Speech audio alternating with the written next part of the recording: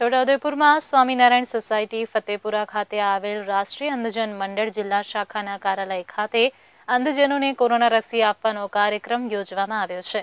આયોજનમાં જિલ્લા સમાજ સુરક્ષા અધિકારી ભાર્ગવી નીનામાં ઉપસ્થિત રહ્યા છે. સમગ્ર વિશ્વમાં કોરોના વાયરસની ત્રીજી લહેરે હાકાર મચાવ્યો છે. તેમ નવા વેરિયન્ટ ઓમિક્રોનનો ખતરો વધતો જાય છે. ત્યારે ભારત પણ આ ખતરાથી બાકાત રહ્યો નથી. આ ખતરાથી બચવા કેન્દ્ર સરકાર દ્વારા ઠેર ઠેર રસીકરણ અભિયાન હાથ ધરવામાં આવી રહ્યા છે.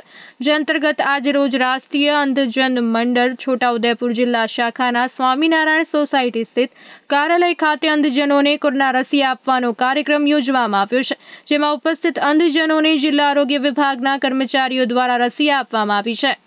આયોજનમાં સમાજ સુરક્ષા અધિકારી ભાર્ગવી નીનામા પણ હાજર રહ્યા છે. તેમજ વિશ્વ અંધજન મંડળ છોટાઉદેપુર જિલ્લા શાખા પ્રમુખ અશોકભાઈ અજમેરા તેમજ અંધજન મંડળના કાર્યકરો ઉપસ્થિત રહીને વેક્સિન લેનાર તમામ અંધજનોને સાલ ઉડાડી પ્રોત્સાહિત કરવામાં આવ્યા છે. કેમેરામેન મોહસિન સુરતી સાથે રેહાન પટેલ, લાઈવ ગુજરાત ન્યૂઝ છોટાઉદેપુર.